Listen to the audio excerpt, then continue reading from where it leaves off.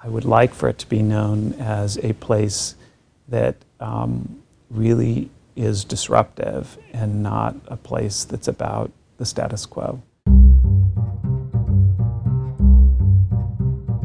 We have an opportunity to start from scratch, to redesign what healthcare can be and what medical school can be. We have to take advantage of that opportunity and try to create that new system. I mean, the university is so primed and ready for a medical school. The nursing school, the School of Public Health, um, natural sciences, pharmacy, obvious, strong, multiple potential areas of collaboration. And so that is a really attractive thing about this place. The schools work really well together and they want to work together. Physicians need to be able to work better in teams. And, uh, and that's got to be the way we provide healthcare in the future. More and more that, that is the case, that there's a recognition that, that uh, team-based care makes sense, but we need to get that to be part of the physician culture, part of the culture of healthcare from the very beginning.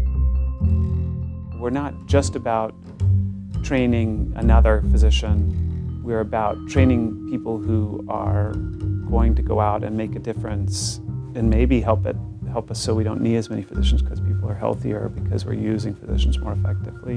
When medical students come in, altruism is a big part of why they want to be doctors. They want to help other people. By the time they leave, somehow in most medical schools, that's been, I don't know, punished out of them.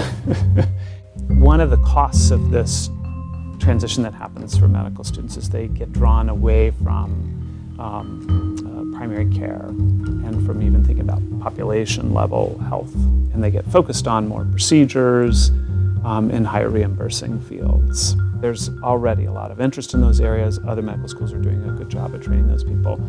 What we need is people who maintain that altruism and want to take care of people in new and different ways and want to be leaders in doing that and are flexible in their thinking about how to do it. That's what I'm hoping we instill in our students.